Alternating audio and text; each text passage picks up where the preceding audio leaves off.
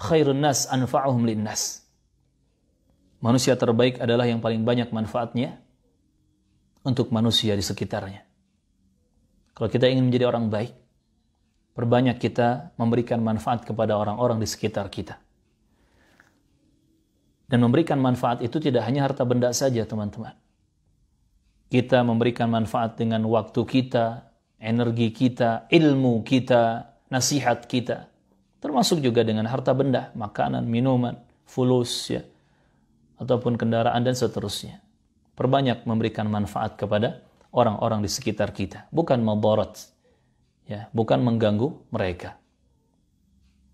Dan level muslim yang sejati akan bisa kita raih kalau kita menghindari kezaliman-kezaliman terhadap manusia. Kata Rasulullah, al-muslim man salim al-muslimuna min lisanihi wa yadi.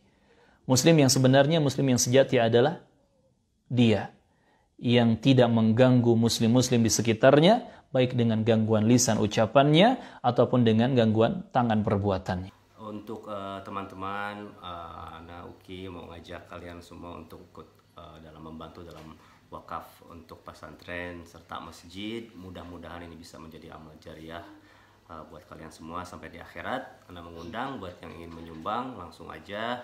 Uh, gak usah banyak mikir insya Allah banyak manfaatnya buat kalian Masya semua insya Allah ya Masya Allah. Iya. Untuk di Kecamatan Ciwidey, Ya. ya bersama Majelis Madis. Tapi itu mungkin ajakan dari kita. Ya. Jazakumullah khairan. Semoga berkah untuk semua. Assalamualaikum warahmatullahi wabarakatuh. Waalaikumsalam